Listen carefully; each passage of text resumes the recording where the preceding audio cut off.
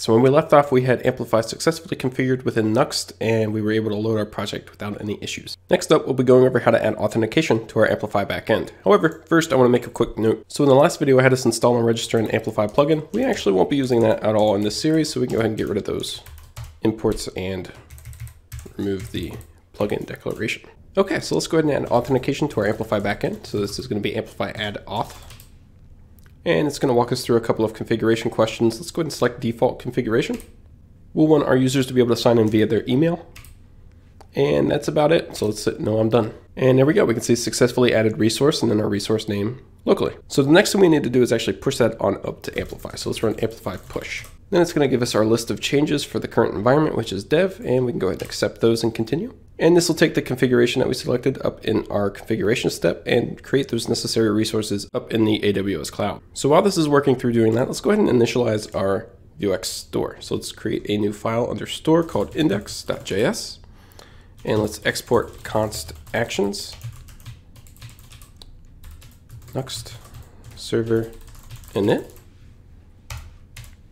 Okay, and since we're going to be using the module structure, let's go ahead and create another new file called auth.js. And this is where the vast majority of our authentication actions are actually going to lie. As an FYI, Amplify does have the methods that we're about to use documented pretty well up on their JavaScript authentication documentation, and I'll have that link down in the description. Okay, so let's go ahead and import auth from AWS Amplify. Let's go ahead and create our default state. So export const state. We'll have two fields, is authenticated, false will be the default value for that, and then user, which will be defaulted to null. Let's go ahead and create our mutations here. So export const mutations.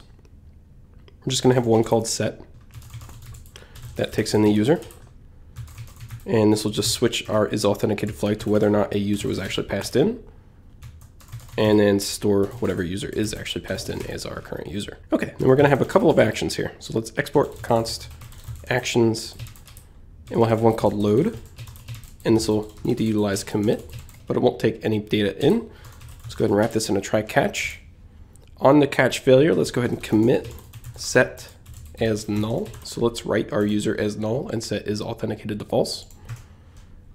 And then let's try to fetch the user from auth, and let's try to get the current authenticated user. So if Amplify recognizes that there's a currently authenticated user for this session, this will return back that user session to us. And then let's go ahead and commit that user to our store. So set user and return that user to the calling method. Looks like I forgot to set equals up here. So let's go ahead and do that. All right, next up after load, we'll do register. So async register, if I can spell it right.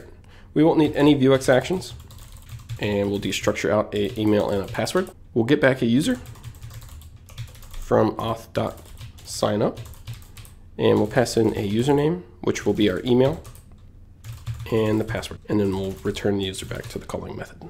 So real quick, during that configuration step for our authentication module, we went ahead and selected email as the method that our users would sign in with.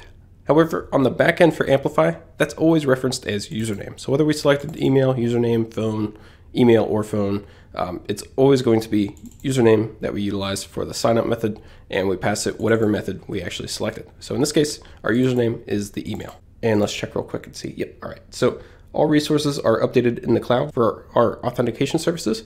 So I can actually go ahead and show you where this is configured real quick. So let's jump into our AWS Management Console. Let's go to Cognito.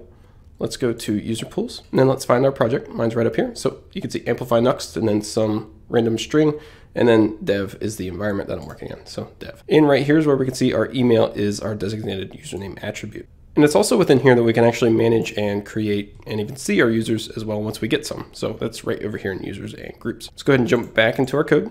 So by default, Amplify is actually going to set us up with a two-step registration process. So we're going to have register, and then our user is also going to have to confirm their email. And that's necessary because if they don't confirm their email, then they aren't going to be able to log into the application. Once their email is confirmed, then they'll be able to log in just fine. So in addition to register, we're also going to need an async, and let's call this confirm registration. We won't need any Vuex actions again.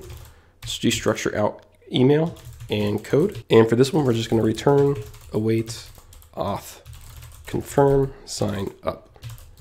Pass in the email and the code. So neither of these two methods are actually going to log the user in for us. We're going to have to call that ourselves. So let's go ahead and create our async login. We'll need commit for this one. And then we'll destructure out email and password. We'll get back our user from await auth.sign in and we'll pass it in the email and the password. And then let's go ahead and commit the user that we get back. So set user and return the user back to the calling method. And then lastly, while we're here, let's go ahead and do log out. So async log out. We'll take commit and we won't need any data. So let's so let's await auth.sign out. And then we'll commit set null. So load will get any currently authenticated user from Amplify and pass that back to us, where we'll then commit that to our store, set our user as is authenticated, and set our user to our user property. Register will take in an email and a password and pass that to sign up so that our user will actually be created up in the cloud on Amplify. And we'll pass in the email as the username and then our password.